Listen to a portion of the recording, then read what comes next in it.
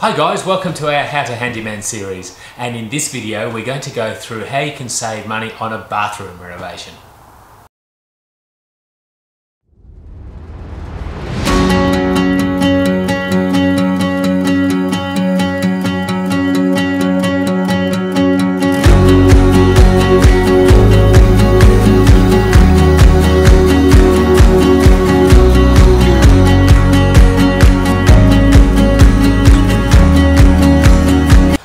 Bathroom renovation can be a really expensive project to do within the house, but there's actually some really simple tips that might actually just save you a couple of hundred dollars, but you know, on the larger scale could actually save you thousands of dollars. So that's what this video is about, is how to save some money um, when you're doing a bathroom reno. But it, look, it also applies if you're doing kitchen renovations or you know, any other building project in and around your house. So hope you enjoy it. If you do, yeah, as normal, hit the like and subscribe button so you can see all of our videos as they uh, come through. All right, so look, I'm going to go through the uh, tips, no particular order, um, but I, I, suppose I need to define what we're talking about today. Uh, when you do a, a, bathroom reno or you do any of the really large projects around your house, there's probably two different ways that you can approach it. One, you can go out and get a quote from a number of builders They'll come back, give you a fixed cost, and away you go, and the project gets built.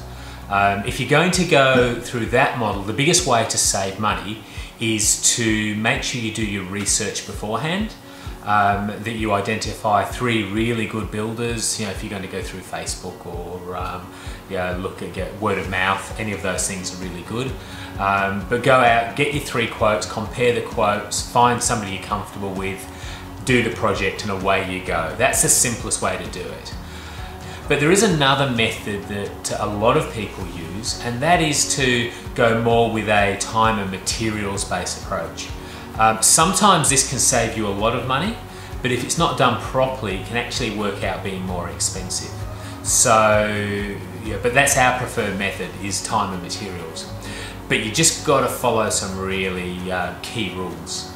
Um, and if you work well, find a really good builder uh, that you can work with or a really good tradesperson you can work with. You know, it can actually save you a lot of money. The first tip I'd probably give is to make sure that you do your research in choosing your tradespeople wisely. So, you know, use Facebook, use um, word of mouth, use recommendations from friends. You know, use all of those things to actually you know, get tradespeople who are well recommended and are qualified to do the job. So you want to check them out. You want to check out the, the work that they've done previously. Again, go to their Facebook page. You know, have a look at the types of jobs that they've done. You know, are they similar to what you're actually wanting to do?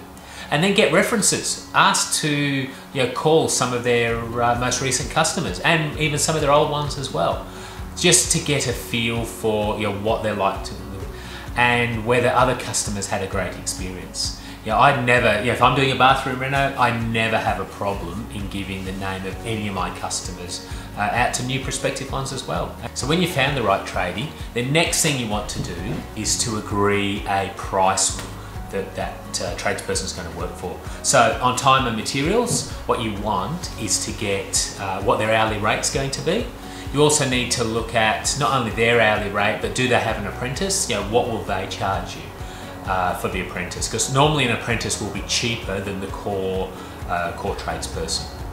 You also want to look at if they're buying materials, are they going to add a margin onto those materials as well? And when I say a margin, are they going to add some extra? Normally between sort of 10 to 20% is added onto what costs them is then charged through to you. And that's to allow for you know, them picking, them, picking the materials up and the costs associated with doing that. And the other thing you really want when you're working with a tradie is will they allow you to get involved in the process? I know when I'm working with my clients, I'm delighted when they say they want to get involved. You know, we recently just did a deck and the customer uh, came along and he was on his hands and knees at the side of me uh, knocking in the nails. Yeah, that was really great fun for him. I was more than happy to teach uh, him how to do it. Yeah, he had a great time, but not only that, he saved himself quite a lot of money because yeah, he was doing part of the work, so he almost became my apprentice.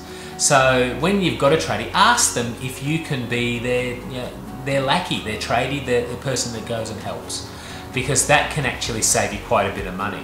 It's amazing, know, if you're there just to you know, go and get some nails when they're needed, go and get a, um, you know, go and get the grout, mix up the glue, you know, bring those trades, uh, bring those materials to the tradie while he's working, um, that saves him having to get up and go outside. So again, if that's saving him time, that saves you time and then that saves money as well. And over the life of a job, that can actually mount up to being quite a significant amount of money. If you feel up to it and you think you're capable, you can also do the demolition yourself. So that is, you know, rip out the old shower screen, rip out the bath, the tiles, you know, get rid of all that rubbish and pull it out of the way and get the site ready for the builder um, or the tradie to actually come in and do the work for you. And it's amazing how much money that can save. You know, because dem demolishing a bathroom can take anything from one to two days at work. And that can be, you know, 500 to $1,000 ultimately, you know, if we're talking Australian money. Um, yeah, if it's in the UK, it might be 300 to 500 pounds. So, yeah, that's money. If you're able to do that and get that ready and prepared, that's money in your pocket. And not only demolition, but as the project goes on, you can take the rubbish to the tip. You know, disposal of the rubbish and the waste. Yeah, if you can do that, again, it's uh, saving you time and so it's saving you money. So, and you don't get the markup that uh, the builder might uh, add on to the project. So again, might save you another $100 um, as you're working through the whole project. Another big one is uh, if you can go and get the materials yourself. I know when working with uh, my customers, a lot of them have the materials already there sitting and waiting for me. So, and that saves money in a couple of different ways. One, the builder doesn't have to go and get them, but two, it'll save you the markup that a builder often puts onto the materials. So the markup, as I said before, can be anything from 10 to 20%. So if you're saving that 10 to 20%, let's say there's three to five thousand dollars worth of materials um, in a project, you know, that's three to five hundred dollars. On a more expensive bathroom, you know, it can add up 500, a thousand or even more. Just saving by you organizing and having the, the materials delivered and ready and waiting for the tradie to go. And then as the project goes along, uh, if yeah, if the builder is finding that yeah, he's missing something, maybe he's run out of screws, maybe he needs some more grout or some glue or some tiles, whatever it might be, then if you can go and get those materials for him, that keeps him working on the project and it stops the wasting of time that happens when he goes to pick them up because it's not only going to get the materials that's an issue, but it's also the time that it takes to get to the store and the time that it takes to get back. So, you know, if he's run out of screws and needs a, um, some more, it might be that it takes him an hour and a half to two hours to go down to the store and then to come back. Two hours that it, you know, multiplied by his hourly rate, multiplied by uh, it happening three, four, five times over the life of a project, can quite easily be an extra thousand dollars added onto the, to the cost of the project. So if you can be available and do that for him, it makes his life easier and it makes, uh, makes sure that you're saving money as well. If you've got a builder who is actually doing it all for you and you've agreed that um, yeah, he doesn't need help and you're happy with that, then my next bit of advice is don't hover. Don't look over the shoulder, don't be distracting let him get on with the job and get it done as quickly and as fast as possible. Um, yeah, as I've said before, I have no problem if customers want to come and watch and to help and to have a chat. It makes the day go faster. But there are some uh, tradies and builders out there that they feel uncomfortable in doing that. Um, and you know, if, if you're hovering over them and watching everything, then that often slows down the process a little bit. Uh, so yeah, don't hover, keep the distance. If they want to be involved and want to chat, great, go do it. Makes the whole project go a lot better. But if they don't, give them the space, give them the space to sort of get on with it. Okay, what else helps you save money? Um, educate yourself on the process. Just understand what it is that your builders are actually doing. So um, if you've got an idea of you know, what the next process is, what the next stage is, then you know, as a builder's got uh, questions for you, you'll have a pretty good uh, understanding of sort of what's coming next. You know, it might be asking you about tile colours, or it might be asking you um, about where you want things within the bathroom. If you've got a pretty good understanding of uh, what the end result's going to look like, and you can communicate that well to the to the builder, then that's going to help again speed the process up and also make sure that uh, um, yeah everything runs smoothly. And if it runs smoothly, yeah, it's going to save you time. It's going to save you know, save you money as well.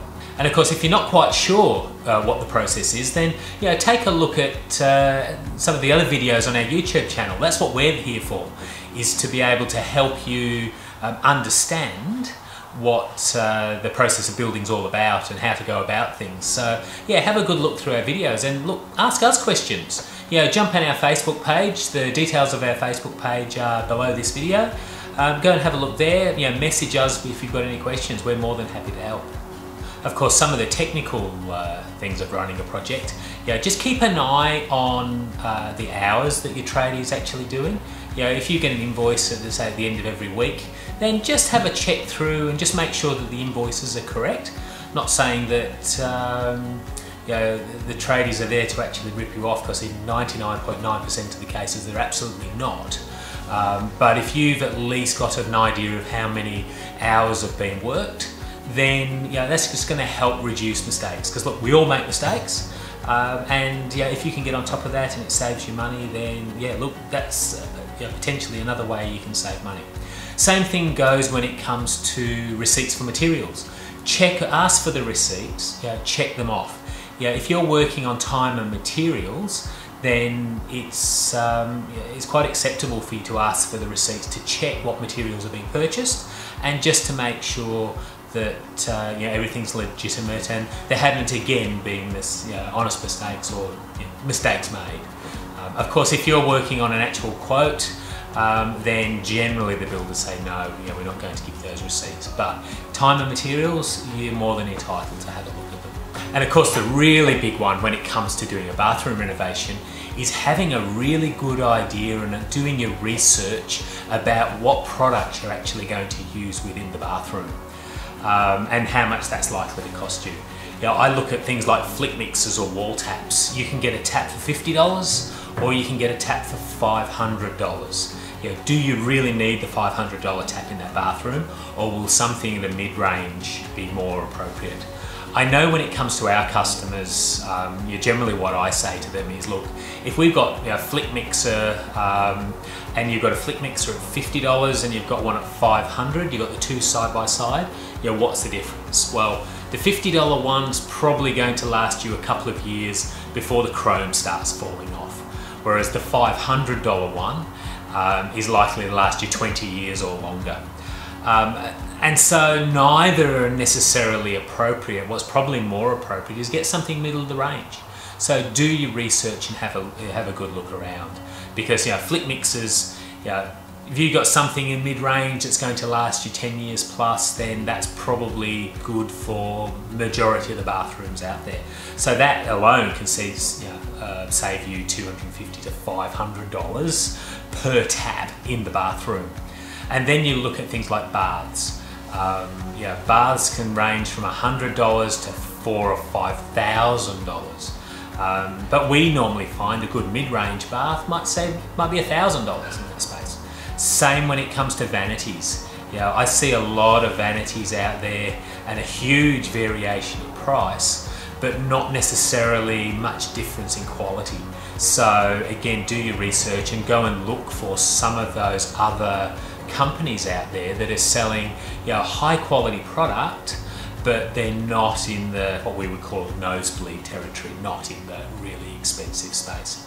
So yeah, I, it can be the difference between a bathroom being finished for fifteen thousand dollars or one that just costs fifty thousand dollars. Can be the difference in the materials that are used. And at the end of the day, when you walk in and look at them, uh, I don't necessarily see a lot of difference between a 15,000 and $50,000 product end result. Um, but again, it might you've got to understand what it is that you want to spend and what it is that you actually um, want for your house. Because at the end of the day, you're the one that's got to live with it. Your choice of tiles also has an impact in the cost as well. You'd be amazed how many times I see clients purchase what they think are cheap tiles, so cheap subway tiles because it's going to save them money. What they don't understand is if you've got a subway tile, which is you know small, generally 200 by 100, it can take four or five times longer because there's four or five times more of those than getting a bigger tile on the wall. So sometimes it's if you really want to save money, spending a little bit more on tiles that are a little bit larger, although not too large, um, means that the labour time to install them is actually reduced. So, yeah, have a chat to the builder, have a chat to the tiler that you're perhaps going to be working with, and say, yeah, what is the most cost-effective solution from a labour perspective, as much as how much the tiles are going to cost for my, you know, for your job. So to figure out what's actually going to work best. Yeah, because I've seen customers, you know, do even smaller 100 by 100 tiles, and know, it literally takes days to do them floor to ceiling. Whereas yeah, if I was doing the same job with a 600 by 300, I'd have the whole lot done in a day. So yes, the tiles might be cheaper, but the labour component of it can be way more expensive. And I'm not saying that the size of the tiles is the only important thing here, because sometimes it's the quality of the tile as well. You know, cheap tiles, which you know often have bows in them or uh, are very brittle, you know, can you can have a lot of wastage when you're working with them. So again, spending a little bit more, getting a quality product, a quality tile, at a reasonable cost, uh, can be a much better way of going for doing your bathroom because it's one of those situations where cheap is in tiles, cheap is not always better. So again, sometimes spending a little bit more can just make the whole process a lot faster and a lot better, and at the end, end of the day, give you a much better result. Another, another really good one, and it sounds silly, um, but is just keep the job fun. Keep the job and the you know, the guys you're working with or the girls you're working with. You know, we have a, a lady here, a young girl who's actually uh, an apprentice with us at the moment. You know, keep keep the job fun because if the job's fun and everybody's having a good time, then it's likely that the, the, the builder and the tradesman's really going to look after you and going to enjoy coming to your job yeah, there's nothing worse than going to a job and having being under pressure and it, yeah, not being fun. It, yeah, if it's if it's going if the job is a good place to come to and the customer's a delight, then you're going to get looked after as a customer. Yeah, I know I certainly like going to customers when my cup of coffee's ready in the morning. Yeah, most of my customers are really well trained in that in that area. Yeah, I've got my cup of coffee ready before I even start the day. But it makes for light it makes for a light-hearted, a great working environment. Um, and you know, if you've got a great working relationship with the, the trades that uh, you're working with, then they're going to look after you and make sure that you're right as well, that, and that your job's right and that your job's perfect. And what else? Um, you've been racking the brain for this particular video. Um, what else is there? Again, I think one of the important things, really, if I was to sum the whole lot up, and that is you know, to do your research. Jump on YouTube, have a look at how things are done. Do your research into the trades. Keep an eye on what's actually happening. You know, just keep an eye over the top of what the costs are. Check invoices, check dates, check materials. Have everything ready for the job. Um, and so that the job can run as smoothly as possible. And if you're there to help without getting in the way, then that's going to make the job just go that much more smoothly. And the smooth job is literally going to save you, you know, hundreds, if not thousands of dollars. And look, you know, as I said before, we're here as well. So you could always contact contact us directly if you've got questions. Um, we're certainly looking at online coaching for customers, just to give them a, uh, to give you a view of, um, you know, what's involved, what's required. Um, so yeah, look, happy to answer any questions. Either leave a comment below or you know contact us via um, you know, through Facebook and uh, Messenger, those sort of things. We endeavour to get back to everybody. Obviously, I can't promise that you know we do that immediately, but we'll do it as quickly as possible. It's one of the things I certainly say with all my customers is, you know, you can always guarantee that I will call you back at some stage and, and talk through. So, um, but yeah, look, if it's not us, find yourself a coach. You know, find have a chat to a builder friend if you have one. Get them to help you. Get them to oversee the project as well. Um, look, building a bathroom, yeah, is such a rewarding thing. You know, we see the before photos and we see the after photos. Um, and it just adds so much value to your uh, to your house. So not only are they good to see, good to go into something that's brand new, yeah, add value, and uh, look, it can be a great experience um, if you've just got yeah, some of the management uh, processes in place, and it doesn't have to cost the earth. So that'll do for uh, for this particular video. If you like what you see, look, yeah, hit that like button below, subscribe to the channel. Um, those sort of things definitely help us. And look, if you've got any comments or questions, leave the comments in the comments section below, and we'll see you on the next video. So thanks. See you later. Bye.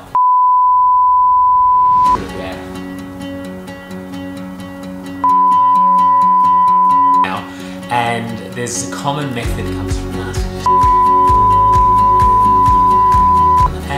And uh, even visit our YouTube channels. And, and of course, uh,